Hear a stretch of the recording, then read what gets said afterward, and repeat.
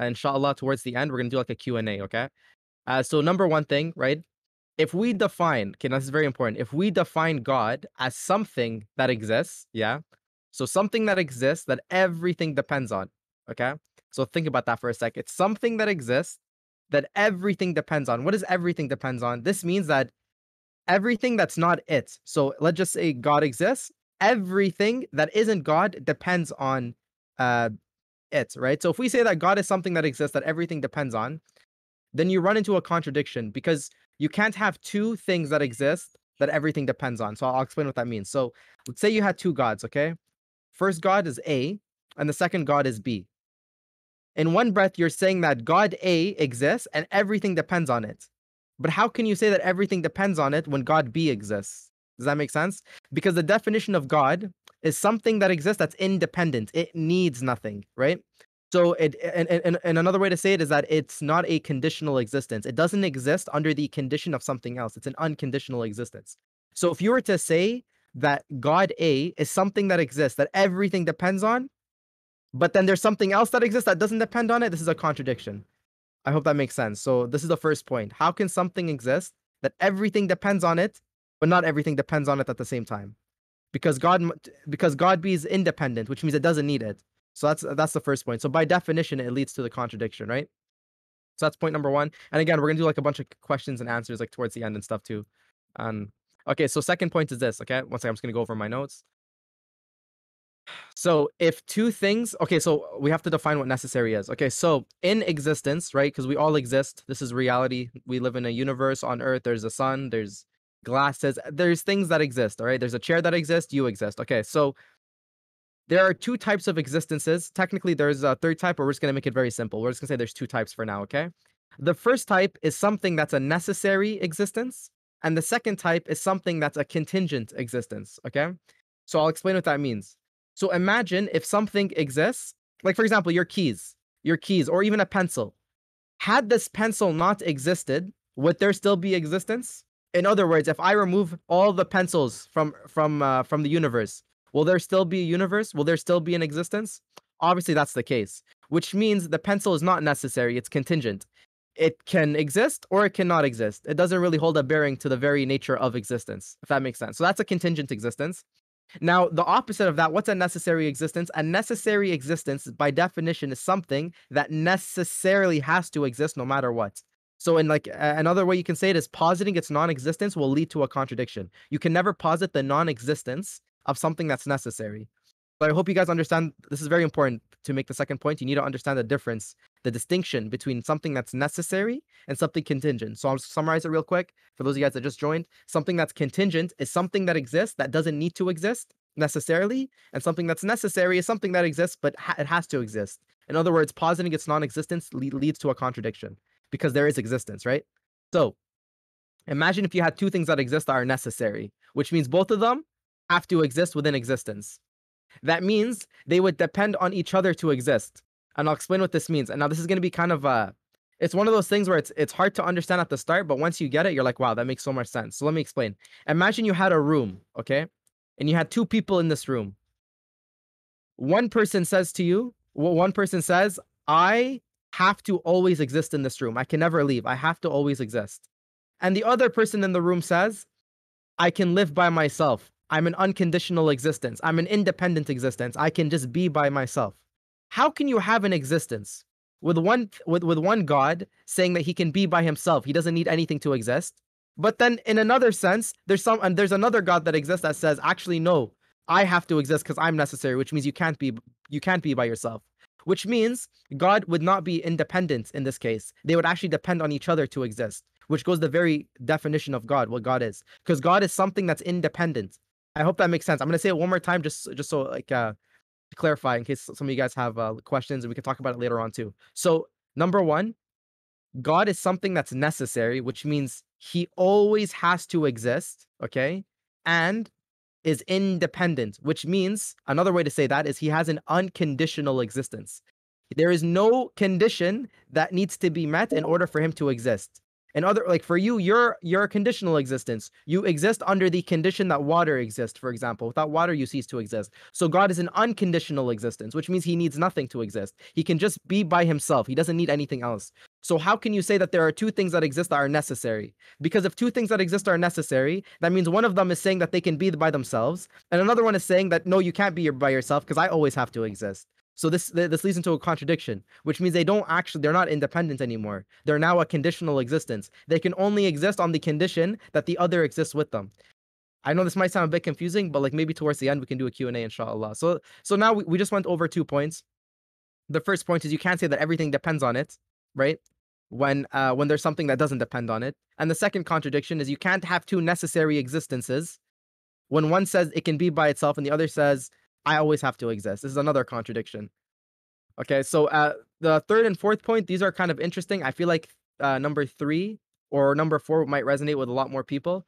And again, guys, this is, all this is to say is without looking at the Quran, without looking at the Bible, without looking at anything, just our aql alone, just our logic and reason, we can get to the conclusion that there must be one God truly. Okay, and we can talk about the Trinitarian view and whatnot later on if you guys want. So now, the third reason. Now, I've already presented two logical reasons. I'll give you a third one. Okay.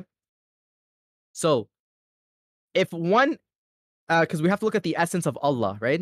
If Allah's essence is that He is the most powerful, okay. So if God is known as the most, yani there's nothing else other than it. It's the most powerful, okay. How can you have two things that hold the same title? Both of them are the most powerful. In other words, imagine you had one God, okay? One God says that he has power over everything. And the other God says, Well, I have power over everything. Okay, that means who has power over each other? Think of it like a tug of war. You have on one end something super powerful, and on, on, the, on, on the other end something super powerful. If they're both playing tug and war, which one has power over each other? Well, they don't. They won't have power over each other. They will limit each other in that sense, which means that they wouldn't be able to control one another. So, how can something say in one breath, I have power over everything, but then in another breath say, except I can't have power over that? I'm gonna say it one more time. How imagine there's two gods, God A and God B. God A is making a bold claim. God A is saying, I have power over everything. But then God be saying, but you can't have power over me because I have the same level as you. So how can God have power over everything but not have power over something, the other God? I hope that makes sense. Usually when I do these talks, like uh, it's like more of a Q&A and people can jump in and ask questions, but hopefully we'll do it towards the end. I hope hopefully that made sense. So essentially what we're doing guys is we're going through the essence of God. What what makes God God? We said everything depends on it. We see how that, that's that's a contradiction. We say that it's necessary. We see that that's a contradiction. You can't have two necessary, okay? And now we went through the third point, the most powerful existence, something that controls everything, has power over everything. How can it have power over everything but then not power over something? This is a contradiction. So now we have three logical scenarios, logical uh, examples with a little bit of an analogy through the tug and war example as to why there must be one God. Okay, you can't have two. You can't have two things that say they have power over everything, but then they don't have power over each other. They limit each other. Okay. And this is the last point I'm going to mention. Okay. And this is actually a very, very interesting point. And I think personally, this is my favorite one. That's why I left it for the end. You know, uh, when I eat food during lunch or you know or whatnot, I always save the dessert for the end because uh, it's my favorite, and I like to kind of make that throughout these discussions too. So, so number four, I know super cringe. I'm sorry, but anyways, okay. So number four, my favorite one. Okay, this is gonna be very abstract. So I want everyone to take a big step back, maybe drink some water, grab some popcorn. It's gonna be super sick. Okay, so imagine you have two gods. Okay, the first god, his name is A, and the second god, his name is B. Okay, so we have A, which is God A, and then B, which is God B. Okay we're saying that there is a distinction between them, right? We can't say that God A is equal to God B. The very fact that we're saying there's something that exists called God A and there's something else that exists called God B, this this means that there is a distinction. Does that make sense? Like the fact, the very fact that we're using words to say there's one God and then there's another God, that means there's something different about these two gods. Because if they're I- identical, if they're exactly identical, then they're then there's just one God. We're just saying two gods, but we're just having fun. We're just mm, like it doesn't make sense. We can't. You should, I hope that makes sense. Basically, eh, you can't say that there is two gods and say they're exactly identical. That means that means they're not there's not two gods. There's only one. They they have the exact same everything. So the fact that we're saying that there's a distinction between God A and God B, that means there must be something different Keep this in mind. That means there must be something different about God A that God B doesn't have. I'll make it, I'll give a very simple example. Imagine if God A has a mustache. This could be the distinction and God B doesn't have a mustache. That's why we can distinguish between each other. Now you're probably thinking, okay, Moshi, what's what's the problem with that? Who cares that there's a distinction between them? Why can't there be two gods with a distinction? Because then they are no longer depend independent. They're now dependent. You know why?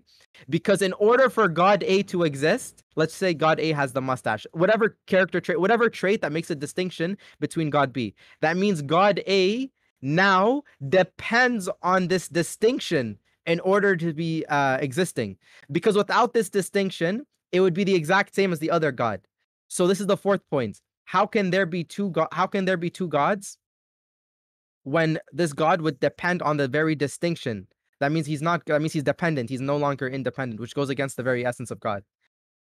That's uh that's that's basically the top four points uh that I kind of came up with I want to share. Um something very important is in this discussion we're already presupposing the existence of God and something that's independent and necessary. So it's not necessarily a conversation about, oh, prove God exists logically. It's if he is to exist, if he was to exist, why there must be one. And I think this is very important because when you when you have a belief system, okay, you have to look at like when you look at the different religions, yeah, you look at the very fundamental, the very uh, foundation of this uh, belief. It's the the way they describe God. So if one person says there's 17 different gods, right away your akal, right, your logic and reason, the thing God gave you, it should it should hit you a bit. It should be like that doesn't make sense. And the reason why, well, I just gave you four examples that you can hold to your heart. Inshallah, maybe when you guys have kids or whatnot, you can share these points with them too. Um, but yeah, that's that's uh that's it. It's very quick, not too long. Also, I just want to say something too. I honestly know nothing. I'm just uh I'm just a fellow person, just like learning, just like everyone else. And uh yeah, that's it. So so take everything I say with a grain of salt. So Pretty much it. yeah. Um Moshi, would you be okay with taking questions now? Yeah, sure. Let's, let's take some questions. Okay. Uh anybody have any questions? You can raise your hand and I'll bring you up onto the stage or just DM them to me. Okay, someone's got a question. I'll bring it. Uh yeah, Al Faiz Ali. Assalamu Walaikum alaikum. salam. I, w- I want to thank uh, Moshi for coming to this event. Uh, Moshi, if, Yes. if anyone says what's wrong with uh, a god depending on another god, that's okay. Okay, how would you answer that? the problem with having a god that depends on another god that just say that okay that's fine you want to say that your god is dependent and not independent. The problem with that is you, run you run into an issue. Now think about it. How can you have an existence okay how can you have an existence with only things that are dependent? You can either run into an infinite regress fallacy or you can say that these two things depend on one another. If these two things depend on one another let's look at it from a temporal setting and then an atemporal setting i'll, I'll show the contradiction in both okay from a temporal setting imagine uh two things depend on one another. God a can never ever exist unless god b exists. It depends on it right? It's a conditional existence. But god b can never ever exist unless god a exists. This means that both of them would only ever exist within their essence. They can never actually materialize within existence. So the symbiotic relationship so the foundation of existence cannot be two things that depend on one another because none neither, neither of them would ever materialize. Does that make sense? Like there, there there necessarily has to be something that's independent that doesn't need another to materialize. It just is. So how so uh, because I, I, something that's conditional a conditional existence something that's dependent it exists it, it has an essence. It has a, a certain uh, thing that makes it special but what actually brings it into existence it isn't its essence alone. Its essence does not necessitate its existence. In other words when, when i have a chair okay just just because we have a description of what a chair is it doesn't necessarily mean that this chair is automatically going to exist it necessarily needs another. So if you have two, these, that's why it's a conditional existence. So if God A exists under the condition of God B, and God B can di- can exist under under the condition that God A exists, then this is just a thought experiment that can only exist in our heads. It's, it's it can never actually materialize within existence. There necessarily has to be a foundation, like a sea floor, and an independent existence. That's unconditional. Does that make sense? Or Yeah, yeah. Okay. So I have another question. Um If a Christian or a Hindu came here, say, well, like, uh, how can you explain the oneness of God to them? how can I explain the, the way I explained it now? The problem is what's going to happen is they're going to say no, God, God is uh like for example, let's just say I was talking to a Christian and they tell me, "Oh no, it's it's it's three persons in one." I'll be like, "Okay, cool." If I prove to, and this, this is all I would have to ask them, I'd be like, "Okay, listen, let's say their name is John. John, if I can prove a contradiction within this very belief of yours, would you still believe it?" One of two things can happen, right? If they say they still believe it, then that means they're claiming, they're saying that their worldview is unjustified, which means they no longer have any right. Like that means if someone comes up to them and says that they think that a frog created the universe, they're not allowed to say it doesn't make sense because their own belief system doesn't make sense. And uh, they can believe what they want to believe. If they want to believe something's illogical, that's by all means. But if I prove the contradiction, and they uh, like but but if they say that oh no my thing follows logic but i prove the contradiction then they can't hold that belief system anymore so basically bro I, I just prove it through logic and reason but we both have to come and agree is logic even a good tool do you even want to use logic if they say no then they say no uh, we, we, we can't really force someone to not use their akal you know we can't force someone to use their akal Also, I heard from a Christian that the Trinity, the Trinity God, yes doesn't need to be logical. it doesn't need to be Doesn't- logical Yeah. Basically, why should why should God be subject to logic? Yeah. So what if god's just outside of logic in that sense Yeah, there are okay there are I would like. Okay, there, there are certain things that are necessarily true, irrespective of whether we like them to be or not. So, for example, one plus one equals true. This is necessarily true. Like we can't we can't make one plus one equal seven, even if our feelings like change, right? Moshi, I- m- uh, yes. Yeah. uh, what would you say in response to somebody who believes in true contradictions? For example, I know there's a Christian theologian by the name of J.C. Beall or something. He wrote a book on the like uh, illogical, like the problems with the incarnation. Correct. He is a Christian, by the way, who believes in the incarnation, and he wrote a book on why the incarnation is illogical. Yet at the end, he confirms that he still believes in it. However, he believes in things which are true contradictions. They're true, but they're just simply contradictory. How would you respond to somebody who believes in that? So like if someone tells that, true contradictions. sure, if, if someone says that, hey, for example, one plus one equals 17, they say that this is a contradiction, or, or they say like a triangle has 17 sides. They say that this is clearly a contradiction, but I believe it's true. I would then ask them, what, like, okay, cool, this is like your conclusion that you claimed that these contradictions are true. What what premises, what what what got you to this conclusion? Like, how do you know that it's like basically if they say this to me, if they say like what what, what can they say? Just because they feel like it, just because they want it to be true? Like what what Um, what would the response be? Like if they say contradictions are true, a triangle can exist with 17 sides. Okay, cool. Like how do you get to that conclusion? Did they use their brain to get there? Did they use logic to get there? Nope. It went around logic. But to get to Um, that but but to get to that conclusion, basically what they're saying is this is what if God's outside of logic, right? Yeah. Yeah. So they're, Or they're- if they believe in true contradictions. Yeah. I mean, that's if they if they affirm the contradiction or the illog like it being illogical, but they say that it's just true in its nature. Like you you know what I'm trying to say? Like they That's fine. affirm true They- contradiction. they can, they can they can say that, but then but they wouldn't be able to justify it. Like they wouldn't be able to justify this. So it's it's kind of Yeah. meaningless. It's Mm. like if someone tells Yeah. me a triangle has 17 sides, they're allowed to say this. But if you can't prove it and you can't like communicate with it, you're it's to be honest, it's kind of meaningless. You can Yeah. it's it's an unjustifiable worldview. And then to, And to, also to be honest, be to sorry, say that again. you wouldn't be able to like critique other theologies because like if you believe Exactly, your own like Exactly. If your foundation to uh, to your belief system, your worldview is illogical, then if some guy says a monkey created everything, you can't say that's false. You can't say that that doesn't make sense. And and honestly, to that, I, I always had this thought in my head. Okay, if they believe that God exists, and they have this notion that God wants people to get closer to Him, that's the purpose of humans to get closer to God. I'd ask them if if God created humans for the purpose to get closer to Him, how are humans supposed to get closer to Him? What tools are they supposed to use? if they can't use logic and reason? Are they supposed to playing the are they supposed to play the guessing game? And if they play the guessing game, the, sorry? what if they say revel what if they say like revelation or scripture or something like that's what they use.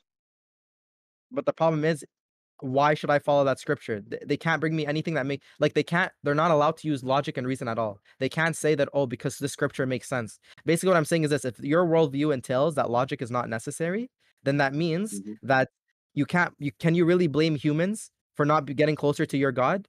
Like because then anything can be true.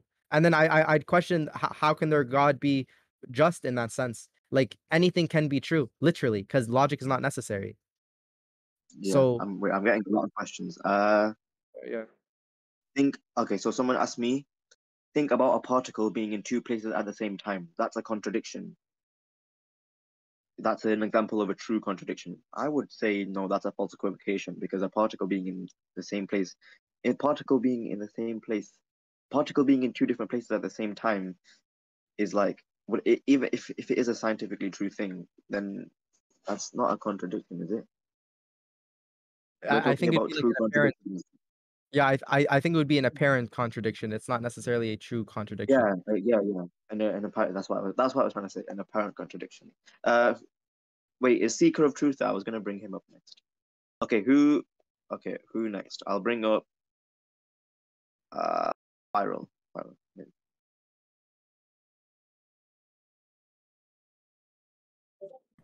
Um, Oh my God, Viral, Walaikum bro. salam. Uh, walaikum salam. What's popping? What's popping? I had a question for Moshi. Yes, Adult Finesser, what's going on? Popping. Okay, so like, what would really be the difference? What do people really mean when they say oneness? Because, like, for example, technically there is one me. There's one doubt finesser, Yeah. right? But like, what's the difference between us saying, "Oh, God is one," or us saying something else is one? Right? Like, for example, there might be one specific golden watch in such arrangement, right?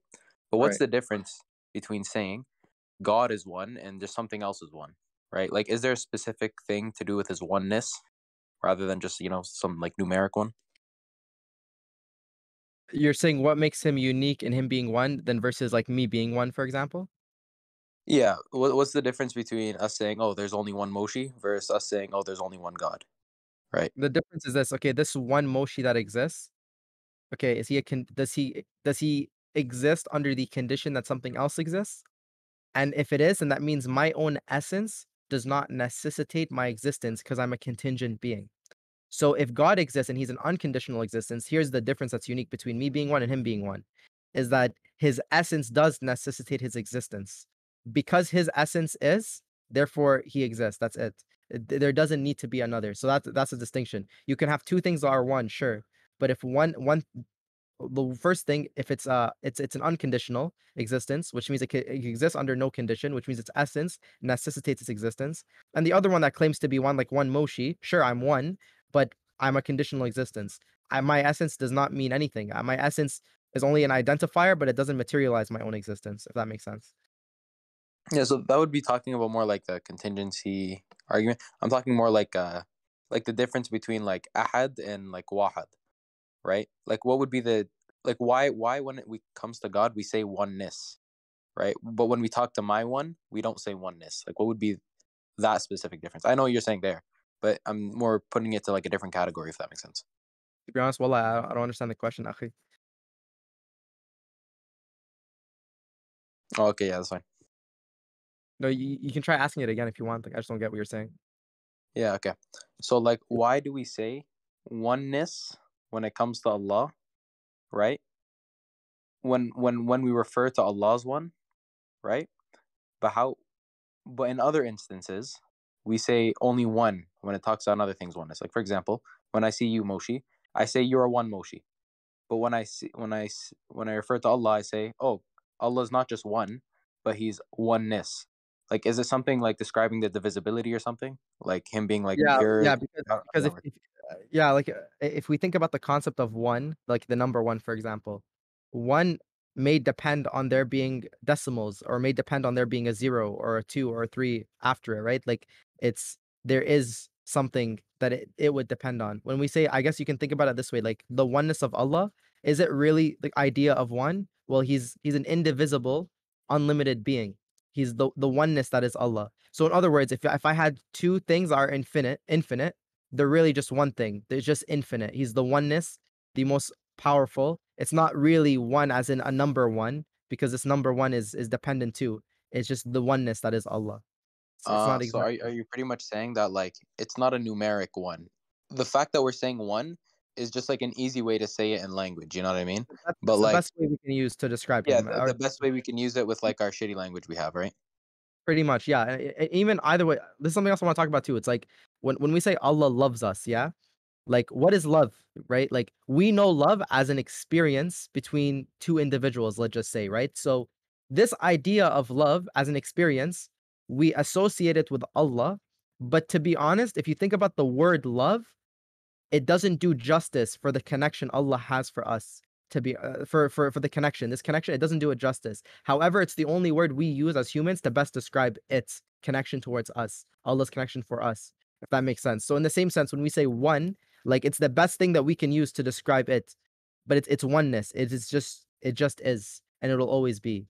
Absolute It's, truth. it, wouldn't it almost be like saying not only is God okay, so the oneness of God would be this. It's literally the fact that there is no other, so we call it one right? That's that's the oneness of god. If you want to put it in numbers right into this number system all it would mean is that there is no other. Mm-hmm. you get what i'm saying? Right. like there literally is no other. I think is is that a good way to put it? No Um, wait vanessa could we just keep it to one more question? Because there's a lot of people watching sorry yeah question. of course that, was my question. Right, you know masanam i guess. All right. Okay, I've got one, two, two questions in DMs. Okay, One is, um, what would be your response to a pagan or a polytheist? Like ju- just a simple, like simple, Okay, like uh, not uh, overcomplicated. To a pagan, a pagan. it depends like there, there are different types of uh, pagans like one of them would say Uh, that i worship this statue because it gets me closer to one god and some say that this statue is god so like what one, uh, believing in multiple, like divine beings, basically. Like that kind of, like one people who believe in multiple gods, like yeah actual multiple gods, like Greek paganism or something like that. Not like worshipping idols, like. Yeah you know I, I I i asked them is there is there one god that's above all of them or are they all equally the same? All equal multiple gods. okay. Do they possess a god does a god possess the title most powerful or no in their sense? Uh, yes, yes. Okay, so then that's the contradiction. How, let's just say you had two gods. Forget 17. Let's just say you had two. One god says, I am the most powerful, which means he has power over everything. Another god says, I am the most powerful. I have power over everything. Does Yeah, one god have power over another? Obviously not. They can't, they can't, they're because they're the exact same power. So they don't have yeah. power over everything. So they can't hold the title. No, no god can ever hold the title most powerful if there's two. yeah. And what would you say to an idolater then? If they weren't like a like What do you mean? somebody who said that I like I worship these idols to get closer to God. I worship these idols, I get closer to God. Like Um, like like the other example you gave. Yeah.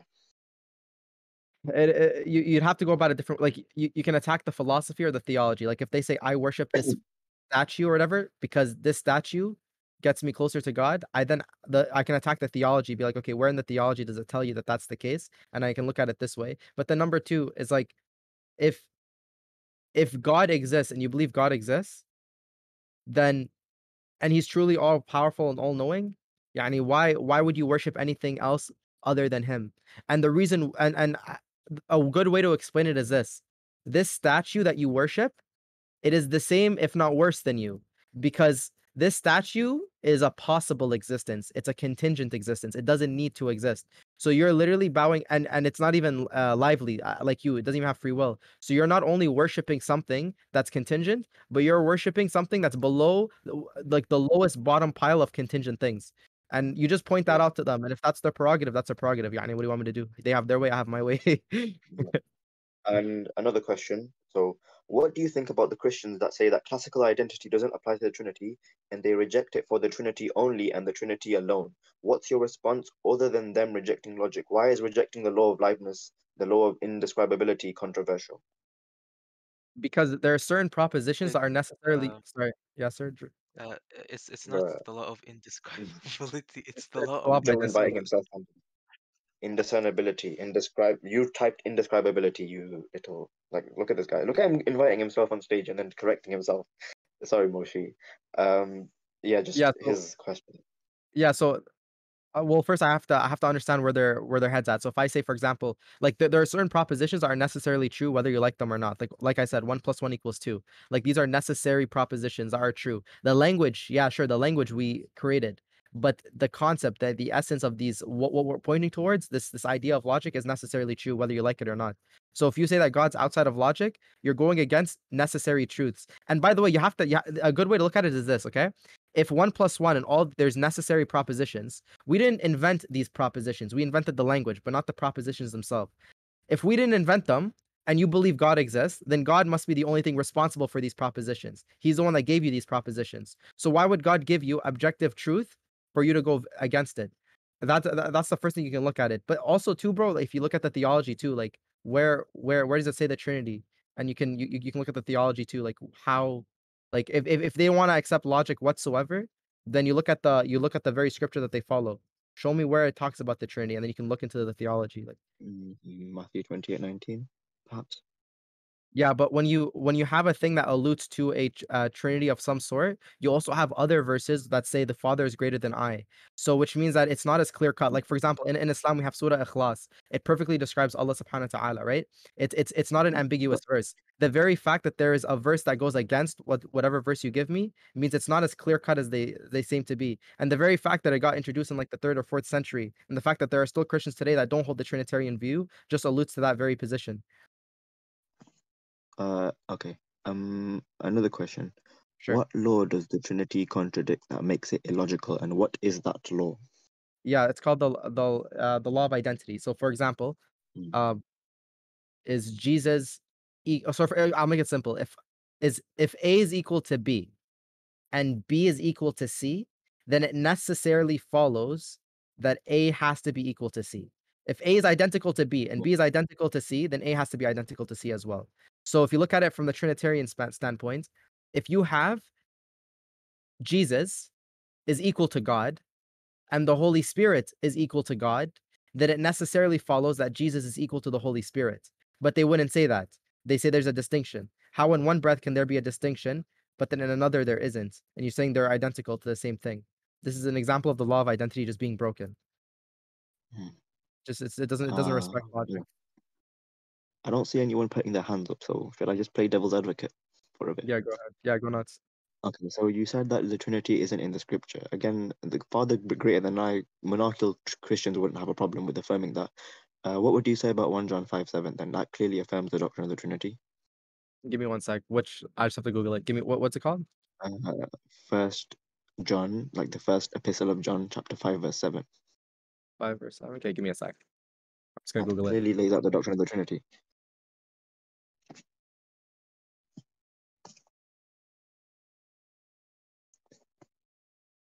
Thoughts? Oh, someone, uh, never mind. Someone asked me something that's unrelated to this, but I'll answer them. No, it's okay. Give me a Someone sec. said thoughts on Orthodox. Someone said thoughts on Orthodox corruption of the Scripture. It's a very good book. You should read it. Okay, John 5 7. For there are three bear that record the Father, the Word, and the Holy Ghost, and and these three are one. Well, then I I I'd exact uh, then the position that I would do then if I wanted to play super like you know like since we're going devil's advocate, I'll be like okay cool. Uh, this is like the apostle that wrote this, Uh, I mean, they'd claim that yes. right? Okay, so then I'd I have to say then okay cool. Your claim is that Jesus, peace and blessings be upon him, chose someone, and that someone wrote this book. How do you know that that's the apostle that wrote it? Uh, okay, I'll go. Do you want me to go really devil's advocate, like proper? Go nuts, go You nuts, know. yeah, go nuts, yeah, go. Okay, okay. Uh, so we have uh, John, John the apostle. He had a disciple called Saint Polycarp of uh, Smyrna, right? Uh, Sure. he wrote like two books. He wrote an he wrote an epistle to the Philippians, and he also had a book. He also had a book written about him called the Martyrdom of Polycarp, in which it mentions that Saint Irenaeus was his student. Irenaeus says that uh, Irenaeus affirms authorship for the traditional Johannine work. So all the Gospels, one John, two John, three John, he says that John the Apostle wrote them. So a disciple of a disciple of John the Apostle claimed that he wrote it. Not only that, but you have multiple. So, say for example, Polycarp, right? He's a disciple of John the Apostle. He quotes uh, one John two times in his epistle to the Philippians.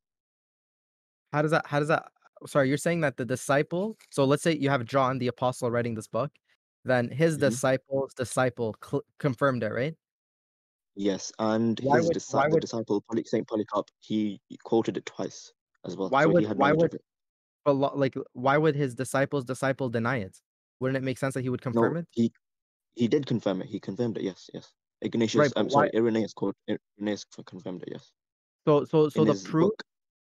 Yes. So hold up. The proof, the proof, yeah, that this is written by the apostle is that the apostle student student said so. Yes, that's called oral. It's called okay. So when we analyze works from antiquity, we do Yeah. internal. We do an examination of the internal evidence and the external evidence. Sure. Christian works usually are internally like works from antiquity are usually internally anonymous. They usually have to have external attestation to the authorship, correct?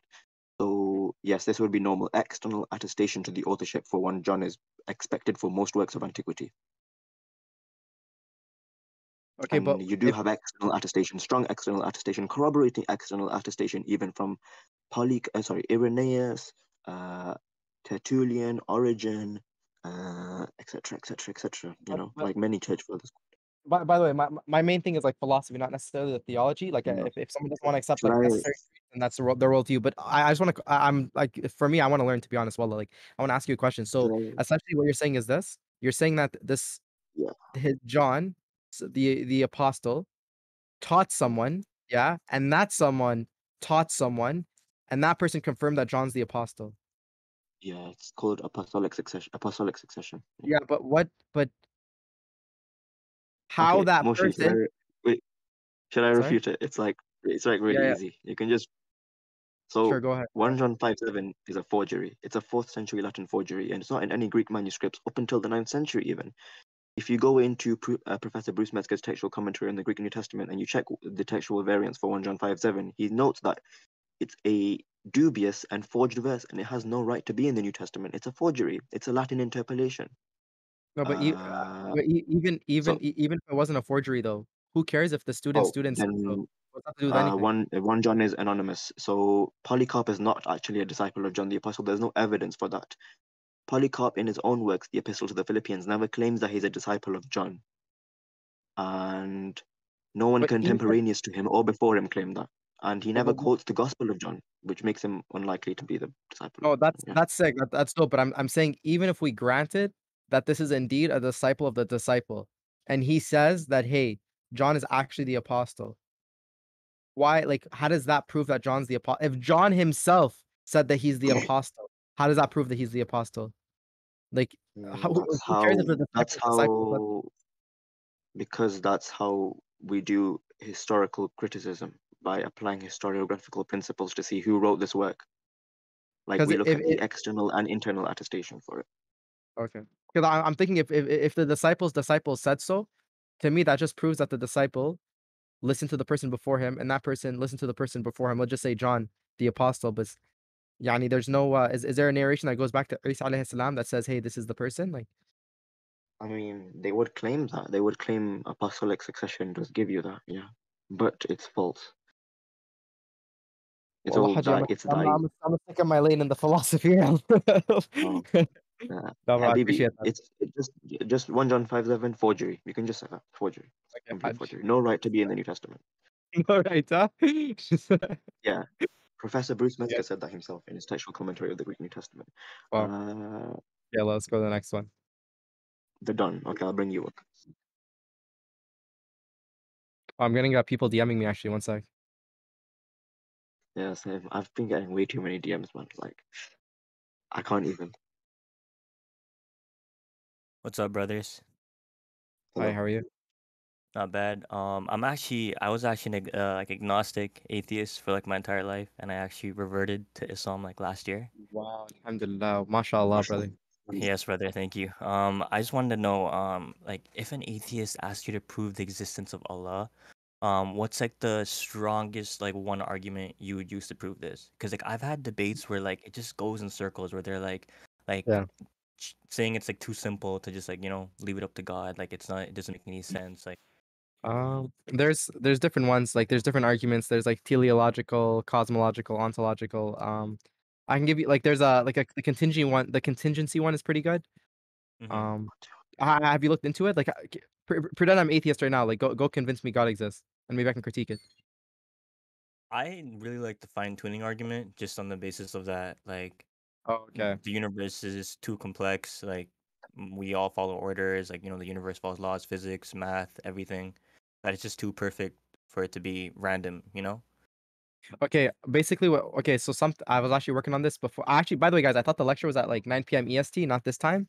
So what I was working is on my on my website, like I'm working on a like a page, a blog that takes you through A to Z how to prove God logically, Allah, through the contingency Mhm. argument, but it ties a couple of things together. Like it should be out literally tomorrow morning, inshallah. But it's just a contingency argument. Like, do you want me to explain it to you? Yeah, yeah, go ahead. Okay, cool. So imagine you had okay, in order for you to exist, okay, imagine imagine you had a situation like this, okay? I'm I'm gonna make a very like dumbed down simple version and then and on the blog, whatever, like it'll fully explain it, okay? Imagine you had a person with a gun, okay? And in order for that person to shoot their gun, they need to ask for permission from the person behind them, yeah? And in order for that person to give permission, he needs to ask for permission from the person behind him, okay? And so on and so forth. If this went on for for infinity, would that person ever shoot their gun? No. Right. So in the same sense, in order for some imagine you had an existence. So step 1, you have to prove the incon the logical inconsistency of having a world with things that just depend on one another. Okay? So imagine you had something that exists, but it needs another thing to exist. And that thing needs another thing to exist. And that thing needs another thing. If that were to happen for an infinite uh cycle, if that just went on backwards for forever, then that means you'd have a a situation where nothing can actually actualize, nothing can actually materialize. They can it's just a thought experiment. It can't actually be. Like it's uh it, it's the same as like the guy shooting his gun, which means there necessarily has to be something that exists that's independent. And then from that alone, you can derive a lot of character traits from Surah Ikhlas. Like for example, if if if it's necessary for there to be something independent, then that means by definition everything depends on it. And then you can use my logic that I presented uh, today to show why there must be one. Um, it's sustainer. Literally, it's a sustainer because without it, there wouldn't be existence. And you get Mhm. to a uh, Allah. That's that's pretty much it. Mhm. So basically, just step one, prove why having an existence with dependent things leads to a contradiction. And then step Yeah. two, that means there must there must necessarily be an independent existence. And then this independent existence must be independent, necessary, everything depends on it, and then you just describe Allah, to be honest. Mhm. from there. And then the question of um where does God from is completely illogical, correct? It would it would be illogical because it's not a question of whether he came from anything. He doesn't come from anything. He's independent by by nature. And the thing is, all they can say is this. This is what they usually say. This doesn't make sense because everything comes from something. You're saying God came from nothing. This is this is illogical. Then you have to break down their type of reasoning. What they did is they did inductive reasoning. They looked at with their eyes and they saw that everything that they see comes from something. That means they're assuming that everything's like that always, which is not necessarily true. This is why it's good to use the contingency argument because it's deductive. There's no induction. It's like very straight up logic. Like this is like just like for example, because you exist, you know your great great great great great great grandmother existed at some point because she necessarily had to exist. In the same sense, because there's dependent things, there necessarily has to be an independent thing. Yeah. Okay. Okay. Makes sense. Um. Okay. Uh. Thank you for the answer. Um. I have another Great question now. What's? Uh, what is the response to Christians who attack Tawheed between the Sunni claim that God possesses divine attributes seems to conflict with the absolute unity of God? What is your response to that? Okay. Um. So, for example, him being Ar-Rahman Ar-Rahim and whatnot. Basically, Sunnis we don't- claim that God has divine attributes, right? And apparently, Christians would say that that contradicts unity in God. Ba- I, ba- ba- basically, uh, the attributes would undermine ontological oneness. I'll describe it like that. I'll just rephrase. Okay. Like God possessing attributes would undermine ontological oneness, pretty much. That's what they'd claim. That's the question. Okay. So if they claim that, I'd be like, why is that the case? Is it because he has attributes? Like God can be all powerful, have knowledge, and that can be within his essence. But the difference with the Trinity is that you don't claim that, like there, there's a difference between saying God is all powerful and he's merciful, and saying that there is a complete different person, a distinct person within his essence. So it, it wouldn't it, it- it'd be a it'd be a false comparison. Uh, This the these terminologies, these these words, these attributes, his 99 names or whatnot, these are attributes that are necessary within within the idea of God versus the Trinity, when you have Jesus, the Holy Spirit, and the Father, like these are persons. They say persons, not attributes. These are the persons within the essence. That's why it's a it Would- could contradicts the law of identity. Yeah.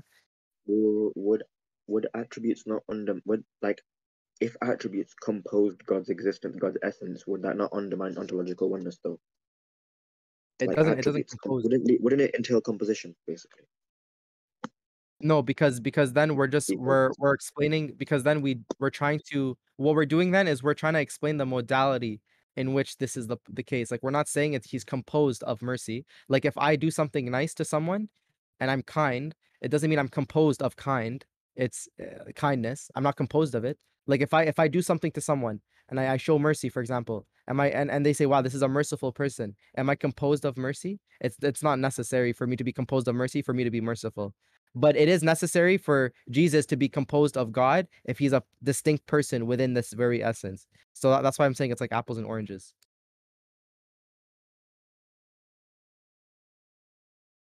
Hmm, okay. Uh, thank you. Um, okay, Moonman, I'll bring you up. Oh, Assalamu alaikum wa rahmatullahi wa barakatuh. Walaikum salam, Moon man. What's going on?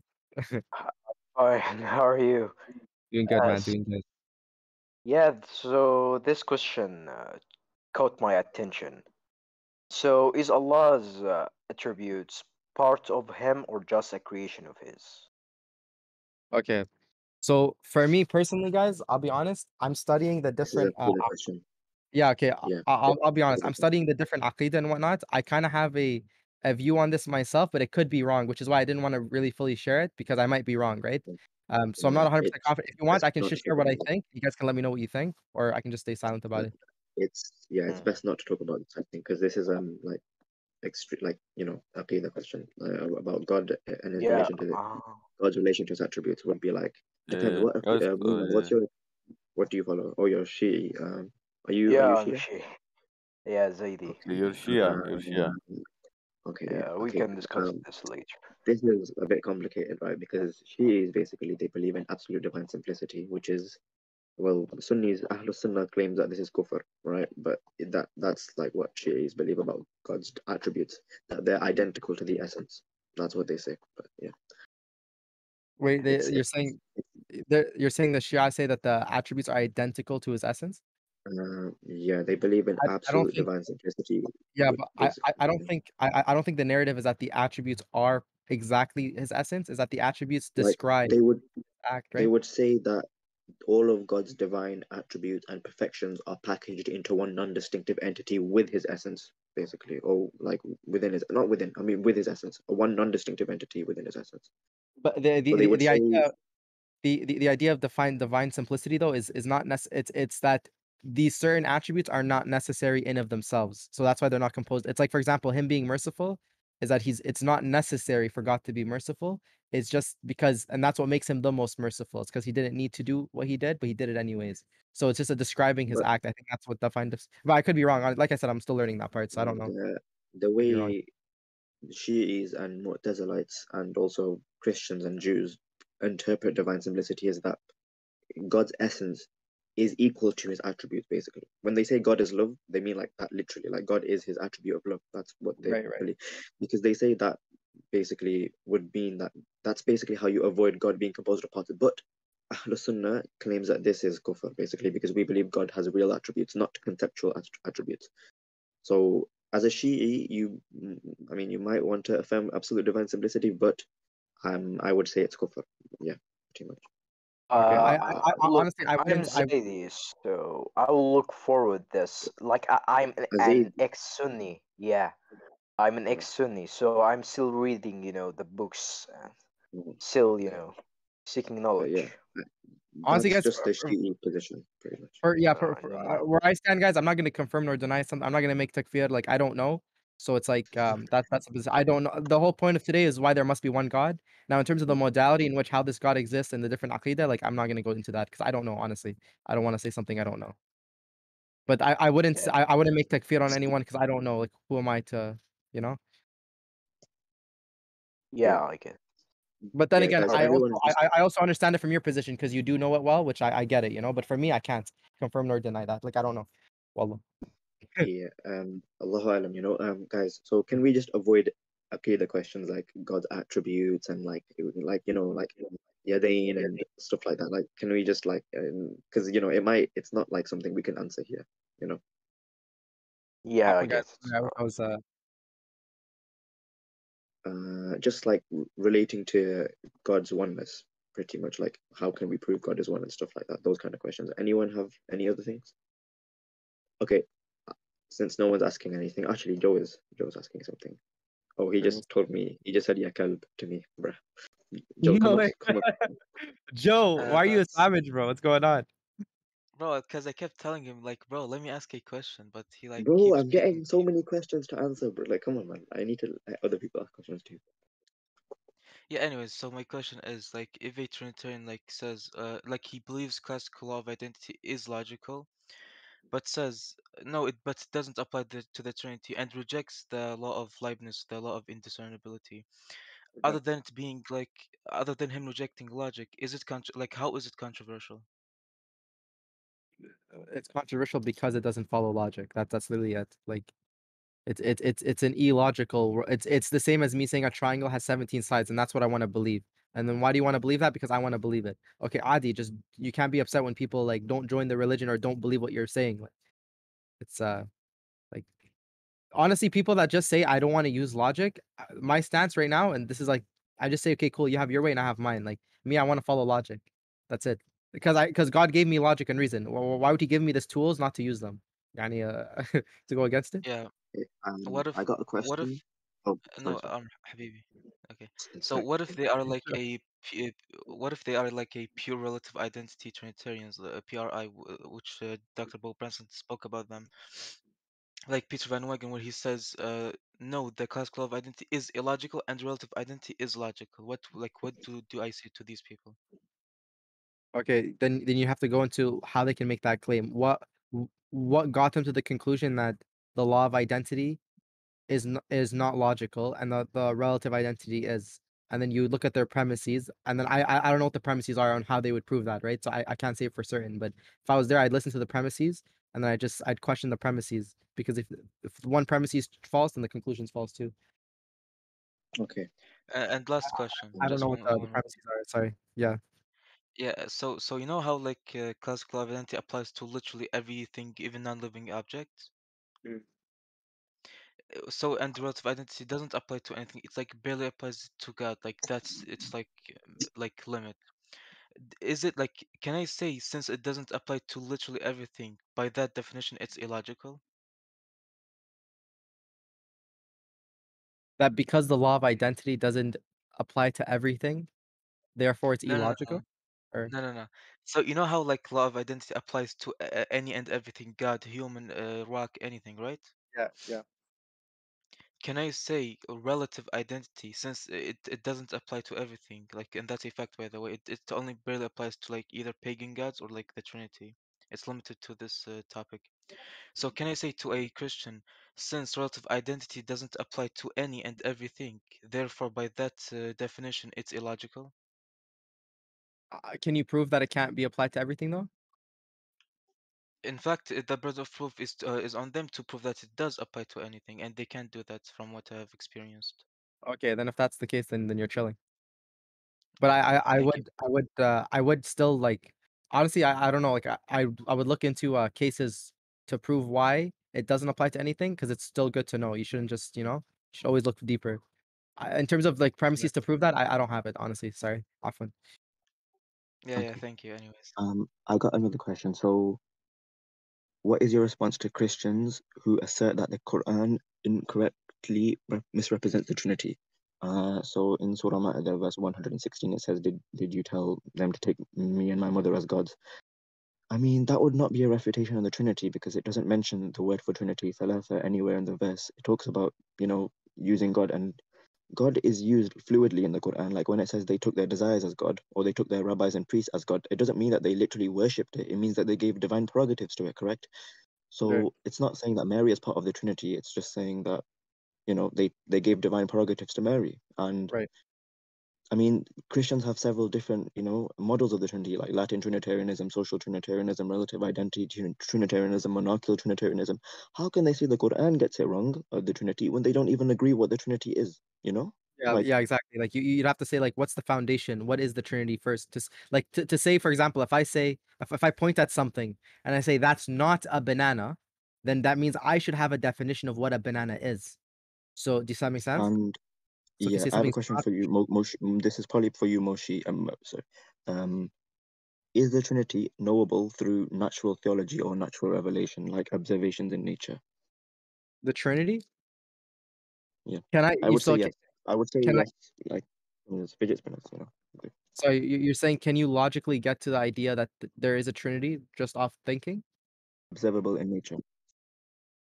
within In nature? nature, yeah. Well, well, I mean, like I I I can obviously give examples of things that have compositions of three within nature, but it doesn't necessarily mean that it doesn't like just because a contingent being can have a composition of three, it doesn't mean a necessary being does. It's independent. It has no. It's it's unconditional. It's like, well, yeah, I can give like A I would, H two O. I can be like, oh, there's composition. Uh, my three mm, fingers. Like, is, is that is that what you mean? H2O would be modalism. That wouldn't be the Trinity. That would be modalism. No. Then he's saying he, the, the questioner is asking, is the Trinity basically observable in nature? Like you know how we can come to the conclusion that God exists without without revelation. We can just deduce it with logic. Yes. Would the Trinity would that be applicable to the Trinity as well? Basically, Um, I I've tried to. I, I haven't I haven't been able to make it make sense so far. Like it doesn't. I I I haven't been say able. To, I I haven't, but maybe you have a way. I'm not sure. yeah, fidget spinner, Do you? one. Yeah, fidget spinner. Sorry, I can't hear you. Is The Trinity. It's the fidget fidget spinner. It's a Trinity Oh no no, bro. I thought I thought I, I thought he's asking, can you deductively prove that the Oh foundation to no, no, that, yeah, that's what the question is asking. But I'm saying yeah, you can prove it in nature. through through a fidget That's like my yeah. Bro, if I if, if people That's believe that there was five gods in one, I'd give an example of my hand. Like it's like just because there's an analogy, it's not uh it's not it's not really proving it within nature. It's just, just finding an example of a way to make it make sense, but it doesn't necessarily mean it does. This guy said, "Yo, fidget spinner is such a good uh, it's, it's such a good one though. It's better than uh H2O for sure." hold on. I got a massive question. Damn, yellow, let's hear it. God, insofar as I can tell, is both omnipotent and omnibenevolent, infinitely powerful and infinitely loving. If he isn't, then that's a problem for both Islam and in the world of philosophy, and as well as in its teachings. Given that I have an argument which seeks to show the existence of God and all his properties, Two of those are omnipotence and omnibenevolence. Since love is an in, in, interpersonal exchange, God is less powerful until he creates other beings which he can love, which limits his goodness, which might be construed construed as a limit on his power. If he is infinitely loving, he is less loving until he creates other people, meaning he depends on other people to be himself, which is a limit on his power. The Trinity solves this. Oh my, I get what this is. This is the Trinity is necessary argument. Joe, do you want to come up and refute this? Well, what's This what's the like question? What's he saying? Oh, I, I'll summarize it. He It's said, basically the uh, Trinity is yeah. necessary because God needs to love Himself because there's no like the Trinity is Yeah, necessary because there's a lover loved and loving something basically. yeah, yeah. So love, love, or Joe, do you want to review refute this? I mean, it's not So basically, there's just the, a short summary to a refutation from Dr. William Lane Craig. He says, first of all, he the his the title is called "What Does Love Have to Do with It." The refutation is basically why do you limit it at three? Why not infinite? Simple. Uh, yeah, that's basically the Trinity is necessary argument, pretty much. It's BS. Basically, for the people who didn't understand, if it's necessary for to have a son and then to have a spirit for just so for love, then why not have more, more, more, more, and like uh, uh, infinite persons because it's necessary. okay, Uh, Yeah. So basically, we'll have a billion persons or more. Joe's a legend. Bro. Joe mainly focuses on like Christian theology. I mainly focus on textual criticism. Like that's just our, our duo. Yeah, it's actually sick. You guys are a good team. Wallah. Like, uh, I feel like I can learn a lot from you guys, if anything. It's amazing. Inshallah, and we can learn a lot from you. Like on the Oh, atheism thing, I don't understand any of that. I'm not gonna lie. Philosophy, atheism, I don't know about that. no, it's okay. The Doubt Finesser. What's popping? Brand new whip Yo, just hopped. I got options. I don't know. I don't. I don't know the song. I don't. I don't got. Op- I don't got options. Islam's the only way. It's the only way. Grab that Quran. Go ahead, bro. Nothing much. Nothing much. So what's what are you guys talking about with the Trinity and whatnot? No, nothing. Uh, Joe. Joe gave a very nice answer. Poetic indeed. yeah. Okay, look, uh, it's uh, is there any more questions, brother? Or Let me think. okay, how how could you prove God is one? As in, like, how could you prove God is indivisible? how can I prove that God is indivisible? Yeah, like that he's one, not just a number, but like he's oneness, like completely, uh, completely one in and of himself. You know what I mean? Like indivisible. Like, how would you prove that Allah Subhanahu wa Taala is indivisible, has no parts? Because if he had parts, then okay, for example, if I had a puzzle, the puzzle has puzzle pieces, yeah? The totality, the whole, depends on the pieces within it. So if I remove one piece from the whole, it would be an entirely different existence. So the reason why Allah is oneness and not the number like one and is indivisible is because if he was divisible, like if you can divide one into two pieces, 0.5 and 0.5, that means the whole necessarily depends on there being the idea of 0.5 and 0.5. So it's it's it's important that there is no parts, because if there was parts, then he would no longer be uh, dependent. Or sorry, he would no longer be independent. He would So depend. pretty much, uh, pretty much anything that's divisible is dependent. Pretty much. Yeah, because it'll always be dependent on what it's dividing into. Oh, and it, it here in this case, it would literally be defined as dependent because it's literally defined as having parts, right? That's what some. That's what a whole is, right? Something with parts. Right. Oh, that's sick. Thanks, bro. Good No question. problem. Very good. Brother asked a very good question. Brother, asked a very good question. Oh, I love him. Oh, I, I think I'm getting some questions here. Um, one sec. Oh no, that's from another server. Okay. All right, guys. Um, if no one has any questions, uh, is it okay if I uh head out? Uh, Or Moshi, I'm just gonna go for. I'm gonna go for two minutes. If you, or are you gonna head out? Oh, no, no, it's because I, I I initially thought it was 9 p.m. Eastern Standard. I messed up. I read the thing Oh. wrong. So I kind of had a thing, but it's okay. Like I don't. If there's more questions, we can definitely carry on. But if there's none, then hmm. I'll see if someone's DM'd me. Oh yeah. Can you ask him what exactly is incoherent about the in infinite regression of contingent universes? if if if Mostly something if something's if something's contingent and its essence does not necessitate its existence, which means its essence does not actualize itself. It needs another thing. It can't just actualize itself. Then, in order for something to, you're basically saying this, yeah?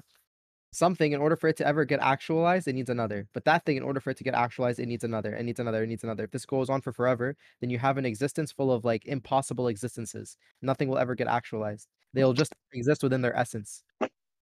They wouldn't actually exist. Could you give maybe like the bus analogy or the the, the, the shooter analogy? Kind of to Yeah, explain like, that. Yeah, yeah. Like if, if I have a gun and I'm shooting and I, and I'm and this a gun, the person has a gun and they want to shoot, they can't shoot. In other words, they can't exist unless they ask for permission from the person behind them. And that person can't unless they ask for permission from the person behind him. If this goes on for infinity and you had an infinite set of permissions, then you would never ever get to a point where the command is given, a permission is given for the gun to be shot. So that's uh that's a good analogy. See it? Sheesh. Yes, sir. Yeah, uh, I think another another you- way also like guys if we're talking about universes. Yeah, sorry, go. Oh, do you guys know each other? Uh, how do long as Yeah, no. they- Yeah. Okay. Oh yeah, so let's let's say we're talking in this case because he asked the question not just about like existences, he talked about universe, right? So let's bring it more temporal. So look, today is today, right? In order for today to get here, had to have yesterday, and so on, and so on, and so on. The day before that, the day before that. You're essentially saying there's an infinite number of multiverses. So let's start from the Big Bang. Oh, that's not the beginning. It's the Big Bang before that, and then the Big Bang before that, and the Big Bang before that. The question is, how can it be if there was an infinite number of days before today, how'd we ever get to today? Right? Pretty much this. If there's an infinite number of multiverses, how is it even possible? Right? How did all those previous multiverses end? pretty much is what I'm asking. Right? It would be impossible. You can't end infinity. If there's an infinite number of days before today, right? Then it could never have gone to today, right? Because infinity has no end by definition. So that's one way.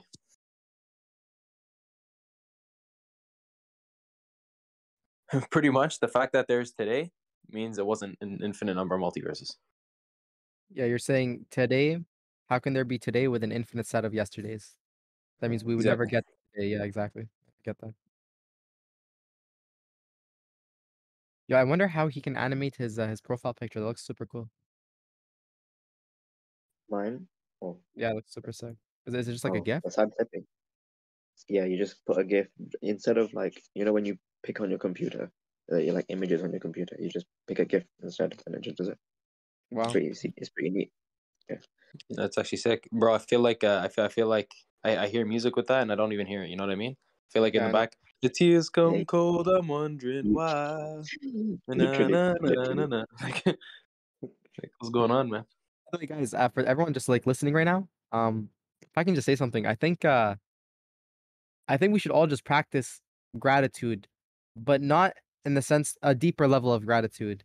Yani, wh- when you drink water, you know, a, common thing I hear is, "Wow, like Alhamdulillah that there is water." You know, there's some people that have to walk hours uh, to get water.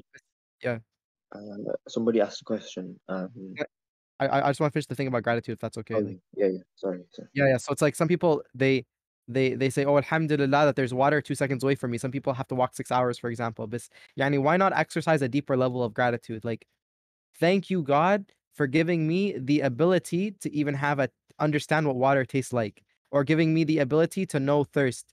Or if if you if you uh, fall down and you hit your knee, your initial reaction is to like yell and scream, or maybe to cry or whatnot. But like to be honest, like Alhamdulillah for even having the ability to feel pain. To be honest, like let's do like a deeper level of gratitude. I think that uh, it, Yeah, pretty it much the deeper level is stuff people never get to, if that makes sense. Exactly. People never think about, right? So you're you really start to expand and understand how much God's actually giving you, right? Yeah, like You know, say Yeah, sorry. like like alhamdulillah for even being able to say that like god could have created us without being able to say it but we- we're able to say it like that that that in of itself is a blessing you know Pretty pretty much also a problem is oftentimes we say Alhamdulillah, but a big problem is we don't feel it. It'll be like our, our mom slaps us if we don't say it, right? We just we, we just feel like we have to say it, right? But if we f- a way to actually get us to feel it is to just go and write down all the possibilities pretty much, right? Every single little thing that God did for us. Now, what we'll realize is we can't write everything down. Recognizing this fact in and of itself is a form of gratitude, and it's almost about as deep as you can go. Just recognizing that you can't be grateful enough, right, is a form of gratitude in and of itself. sorry brother you, said there's a question Yeah, it was. Um, have you ever considered any other religions or atheism? have i ever considered yeah yeah i considered atheist i considered christianity um i actually like uh like left islam and then i kind of i came back to it uh, alhamdulillah so i've definitely considered it No. Oh, someone also asked, uh, what exactly is inco- Oh no, sorry, that was the same question. Um, uh, are you saying that contingent existences can never be actualized? It Why was an that the in, case? because you would have an infinite set so you're, you're he's asking why can't there be an infinite set of contingent existences He's saying, are you saying that? yes Are you there was saying that yes, contingencies, contingent existences can never be actualized? There is an infinite if there was an existence with only contingent existences then it would they wouldn't actualize no there there, there necessarily has to be something that's not contingent to allow for the Or is, to- is he asking why that's the case, or is he just asking like Moshi's view on that?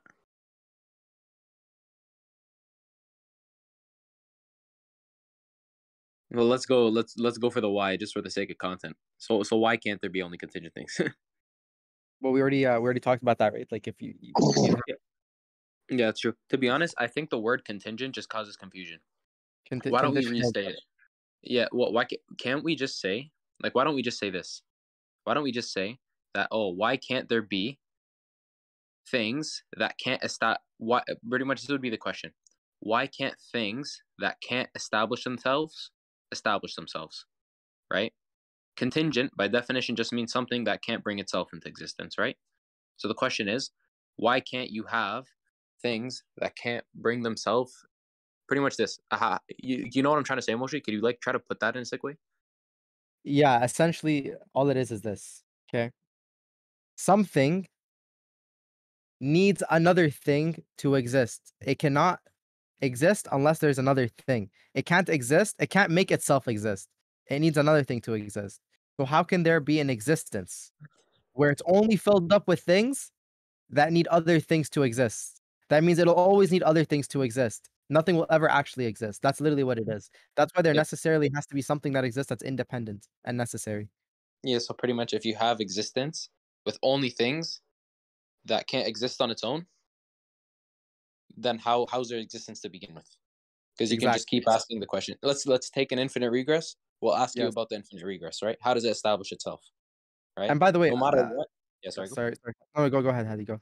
Yeah, yeah, so no matter what, you'll end up needing an independent, something that can establish itself. Yeah. And by the, I'm, I, if you guys want, I can give you a quick rundown of like that argument as that argument, like very like clear cut, very fast, and then maybe you guys can ask questions based off what I say. Okay, so number one, there's either a conditional existence or an unconditional existence. Okay, a conditional existence can only exist under the condition of something else, and an unconditional existence can exist under no condition at all. It can just exist. Okay. If there was an existence with just conditional things, let's grant the infinite regress for a sec. Let's just say there's an infinite set of contingent things. By the way, that in of itself is not an explanation. You can say that that's the case. Let's just say that that's the case within reality. That doesn't necessarily entail that that's not the contradiction. Sorry, that doesn't mean that that's the explanation. But even if we say, even if we were to say that that's the case, let's just grant the impossible for a sec. Let's just say right now there's an infinite uh, set of uh, things are conditional existences. If that's the case, if that's the case, then now we have to talk about the set itself because there's a difference between the set and the pieces within the set. The set itself is a conditional existence as well. But now we have to ask ourselves, what is it? It must, if it's conditional, it must need another.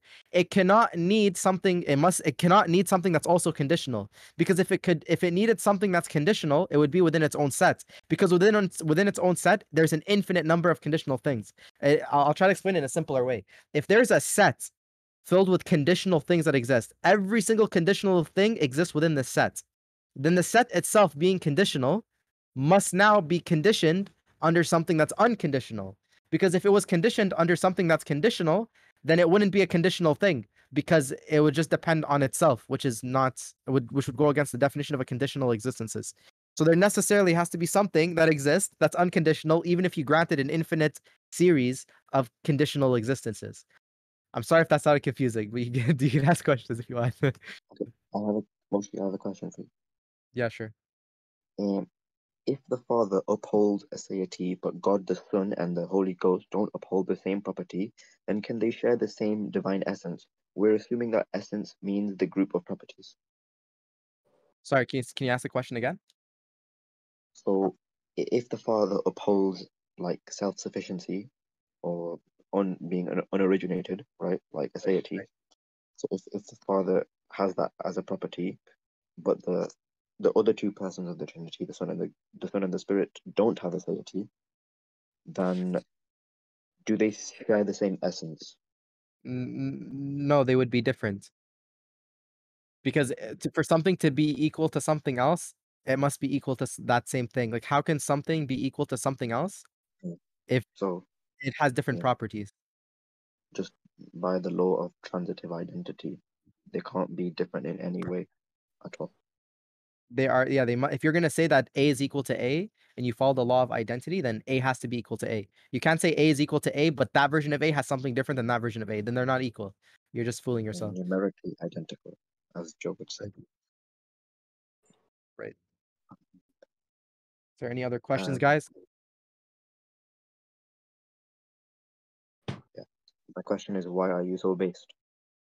That's Why am I so based, bro? I, what is based? I, I everyone. I feel like an old person. I don't even know what that means. Like, what? Carlos, you're not ba- you're not It's based like- anymore. It's over. It's like factual, correct, stuff like that. Like good. It's like just uh, affirmation, basically. Pretty Like, much it's just saying you're a sick man. correct, facts, stuff like that. Like I'm like, oh yeah, that's based. It's like my Oh no agreement.